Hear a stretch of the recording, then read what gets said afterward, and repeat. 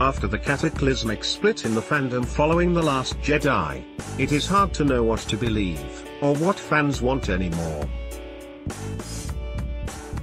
Luke's shocked demise was hugely unpopular with a large section of the fans and the sudden death of Carrie Fisher also seemed to destroy any last help that could be some sort of on-screen reunion for the three central characters of the entire saga.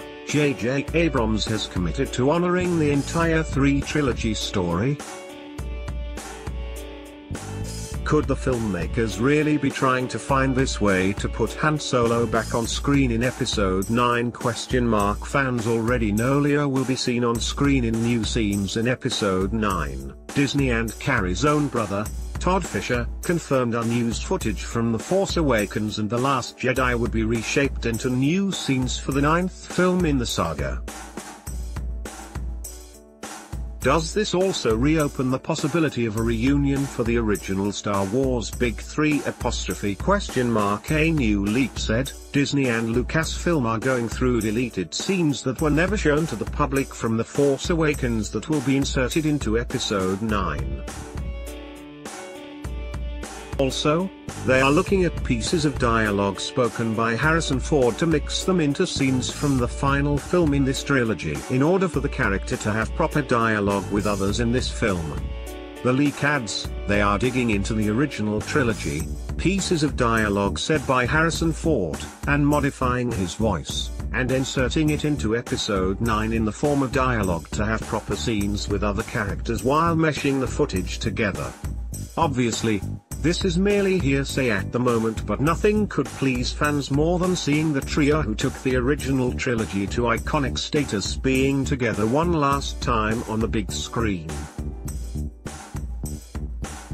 The benefits could be huge but so could the backlash. The most obvious way would be using Force Awakens footage but showing Han from behind or off camera when he delivers these rediscovered lines. It could work, but it could also ring very false. With much talk around J.J. Abrams' love of flashback scenes, there is also renewed hope Han could appear in a flashback or vision with his son Ben Solo, Kylo Ren. The obvious question is why not simply bring Harrison Ford back in to shoot new scenes or dialogue.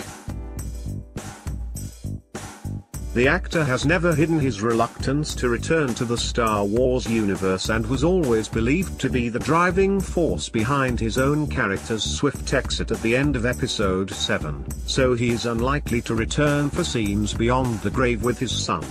It is equally hard to imagine Ford wanting to shoot any scenes manipulating old footage of Fisher for now. It is more likely these reports are wish fulfillment as fans desperately wait for the first footage in the upcoming teaser trailer to reveal how the final film might shape up. Original story at Mike Zero